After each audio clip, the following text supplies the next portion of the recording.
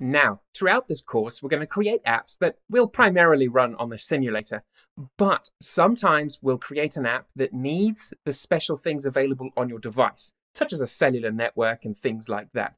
And certain things in iOS can't really be simulated. You need a real device. So if you have a spare device, then you can install iOS 11 beta. Now, bear in mind, it's a beta, and that means things will break. That's why I say use a spare device just to test it out. If you don't have a spare device, then it's totally up to you if you want to install it on your main device, but prepare to be frustrated when certain things don't work. Okay, now that I've said my piece, let's look at how we install iOS 11 on your device. Grab your device and you'll see it's very, very easy.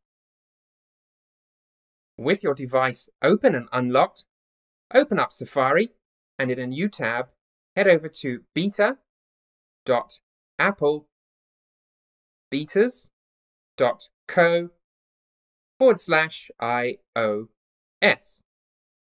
And when you hit go, you might be presented with this screen. If that happens, just hit refresh and you should get a profile installation. Make sure this is verified from Apple so you don't install any malware, and then simply click install enter your passcode.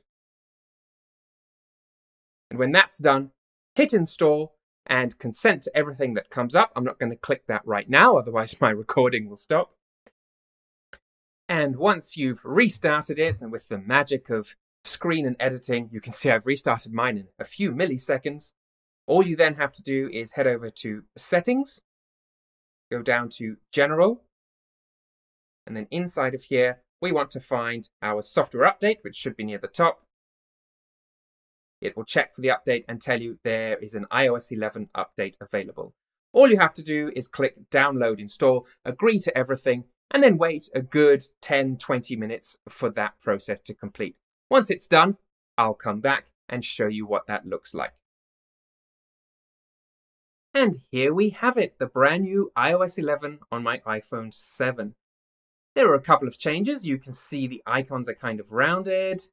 And if we swipe up, that's completely changed, but I do kind of like it.